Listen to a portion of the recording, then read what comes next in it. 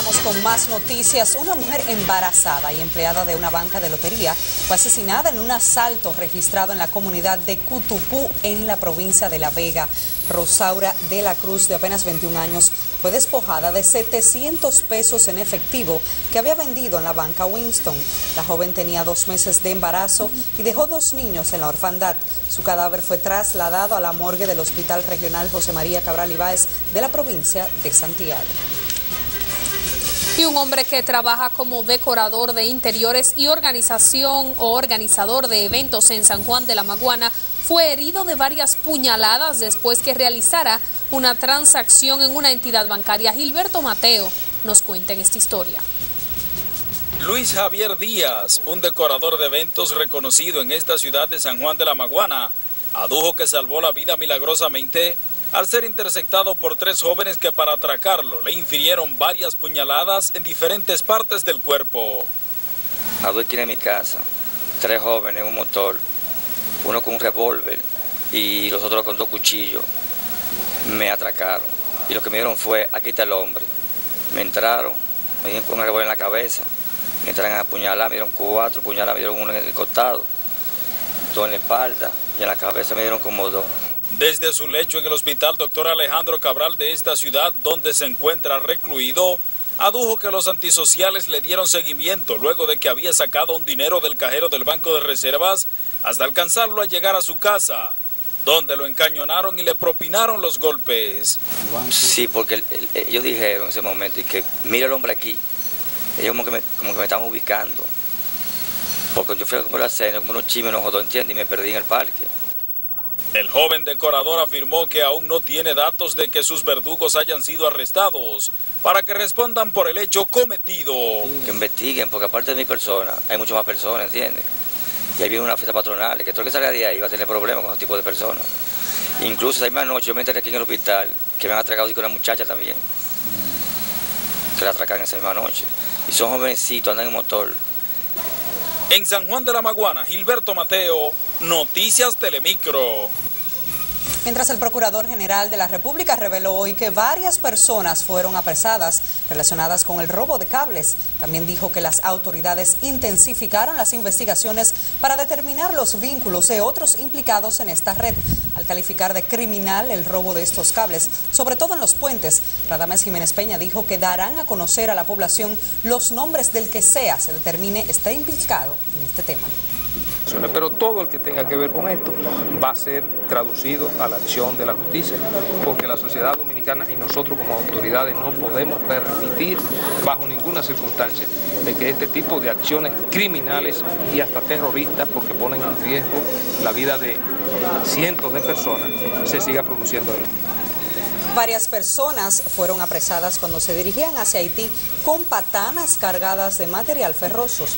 Uno de los casos más recientes de estos desaprensivos fue cometido en el puente Juan Bosch, donde muchos de los cables que lo sostienen fueron robados.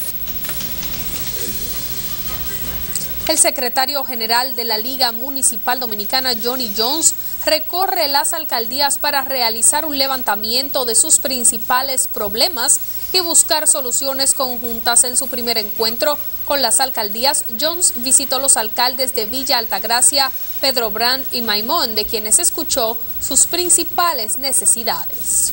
En procura de poder hacer un levantamiento, hablar de manera directa con los alcaldes y buscar la manera de tener conocimiento de causa de cuáles son las necesidades en que la Liga Municipal Dominicana puede ayudar a los ayuntamientos para buscar la manera de hacer un mejor servicio a la ciudadanía. Es el propósito siempre de todo funcionario, el alcalde, el consejo de regidores. Y en ese sentido nos estamos trasladando con los encargados departamentales nuestros para que ellos tengan también conocimiento de cuáles son eh, compromisos que hemos venido haciendo, que vamos haciendo y que puedan determinar un mejor funcionamiento. Mientras los alcaldes de Villa Altagracia, Luis Miguel Méndez, de Bonao, Alberto Marte, de Pedro Brand, Jesús Valdés y William Álvarez de Maimón agradecieron la iniciativa de Jones en bien del fortalecimiento de la municipalidad.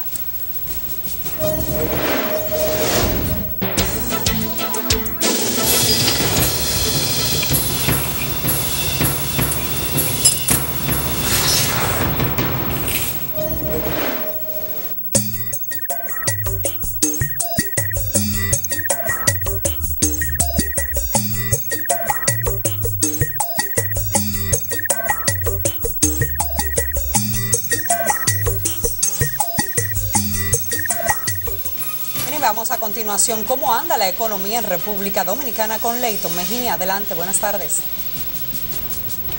Muchísimas gracias y buenas tardes. Bueno, mientras el Ministerio de Administración Pública trae a un chileno para debatir acerca de los salarios en el sector público, el ministro de Trabajo está en Ginebra propugnando por un salario más justo para los jóvenes dominicanos.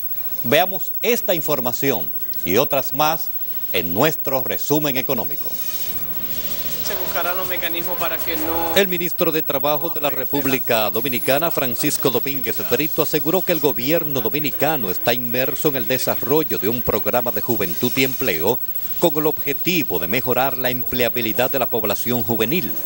Durante su intervención en la 101 Conferencia Internacional de Trabajo celebrada en Ginebra, el funcionario destacó la importancia de lograr trabajo decente para los jóvenes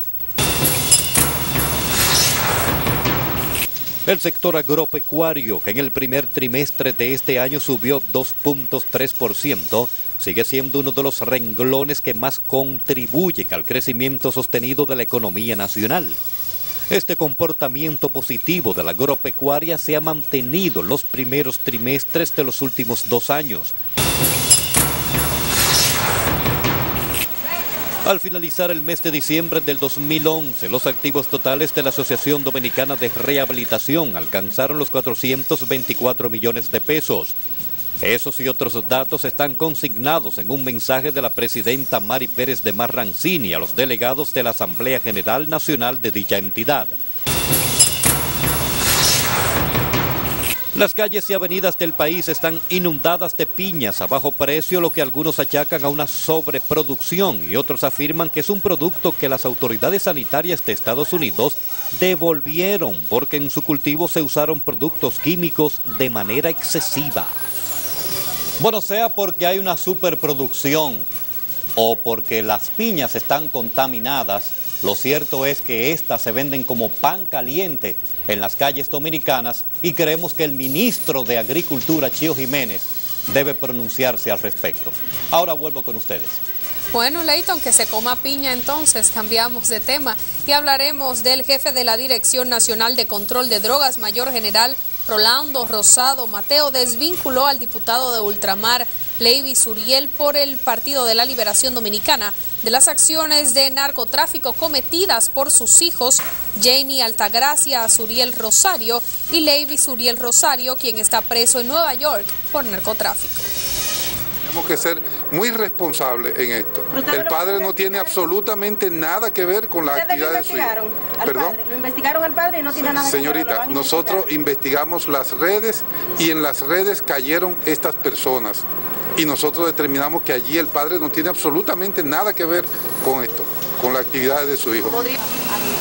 El jefe de la DNCD también dijo que las autoridades dominicanas, con el apoyo de las internacionales, trabajan en un plan para enfrentar el tráfico de drogas por vía marítima, que es, según dice, el medio más usado para este ilícito negocio.